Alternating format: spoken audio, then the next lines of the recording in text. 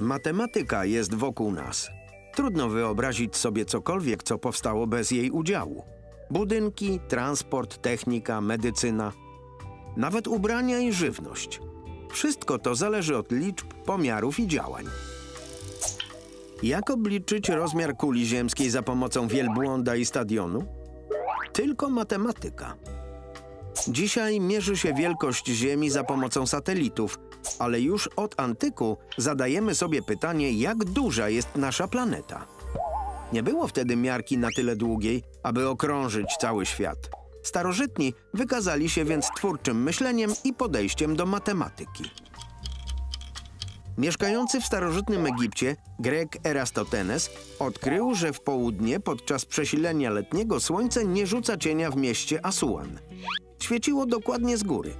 Zmierzył długość cienia w pobliskim mieście o tej samej godzinie. Wiedział, że za pomocą geometrii koła uda mu się zmierzyć rozmiar kuli ziemskiej, o ile będzie znał odległość między tymi dwoma punktami pomiaru.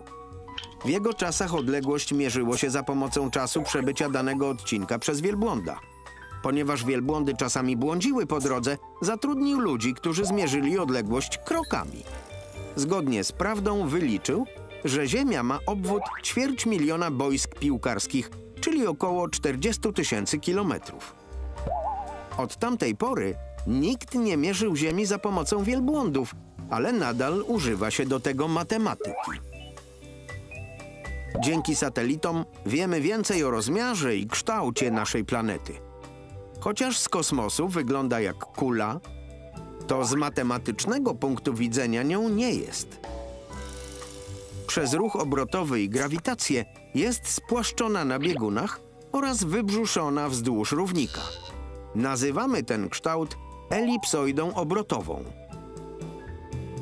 Ziemia jest tak wielka, że nawet gdyby jechać dniem i nocą, nad wodą i pod wodą, to pokonanie 40 007 kilometrów z północy na południe trwałoby 17 dni.